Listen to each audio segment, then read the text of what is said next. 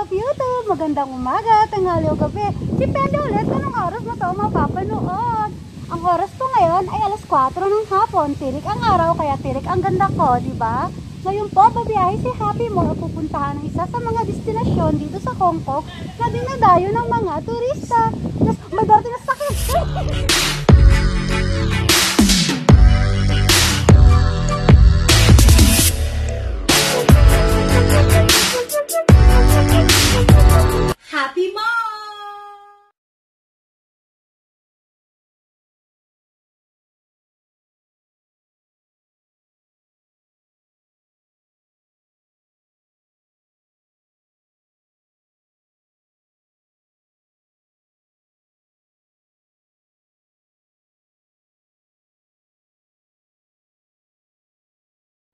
Ano ba direct?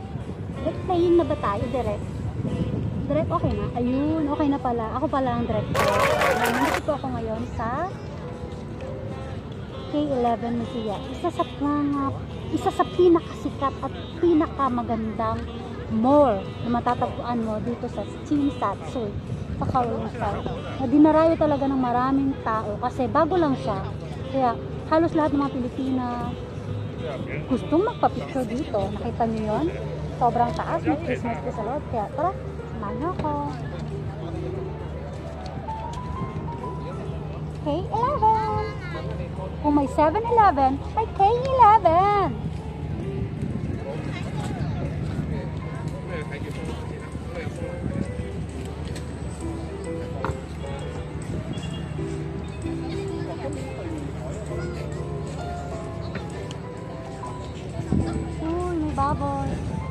You naman sa pababoy.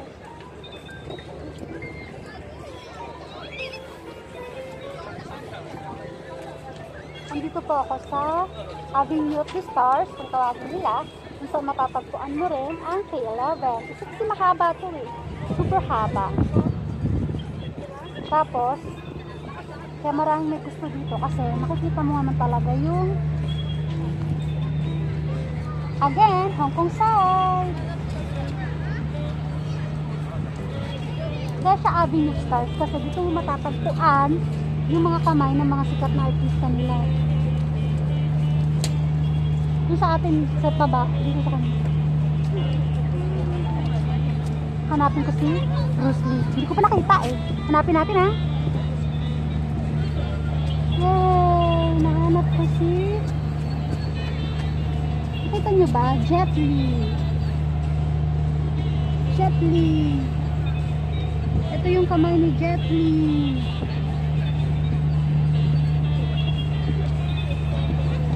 Oh my God. Naghawak kami kami ni Li. Oh, Li. Ayan na, ayan na. Yan po yung!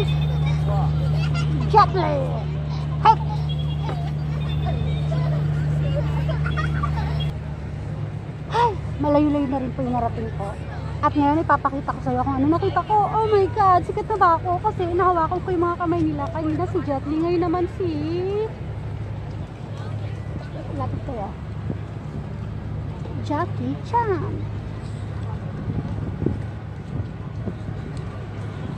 Ang away ko, di ba? Ah, Jackie Chan. Jackie. Jacket naman dyan. Kasi malamig. Jacket. Ah, you're so funny. Hindi pala. Jackie Chan.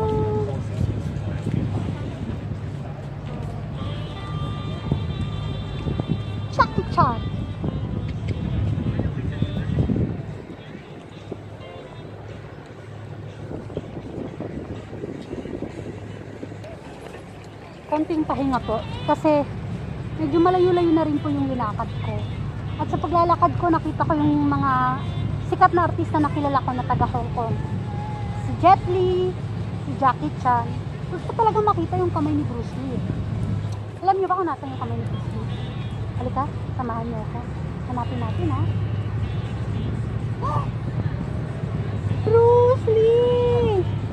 Bruce Lee! Bruce Lee. Sa kasamaang palad, wala pong kamay si Bruce Lee. Kasi bago pa naman po nagawa yung Avenue Stars nila, nalalagyan ng mga kamay, sumakabilang buhay na ang sikat, ang international, ang super famous na si Bruce Lee. Namatay siya sa edad na 33 or 35. Correct me if I'm wrong. Kaya mag-search na rin kayo. Ayan, si Bruce Lee. Yeah! Diba? Ayun. Yun lang naman po talaga yung gusto kong makita dito sa Avenue of Stars. Si Bruce Lee, si Jet Li, at saka si Jackie Chan. Kasi sila naman talaga yung kilala ko, di? Kaya ipagpatuloy na natin ang ating pagpunta doon sa... Diba? Okay? Nakita na natin si Jackie Chan, si Bruce si Jet. Pasok naman tayo sa K11.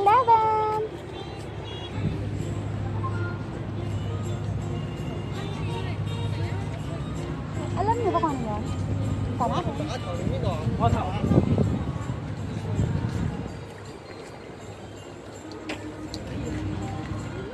lang sa mga mahilig magmema, wag kayo dahil tataubin kayo ni Muma.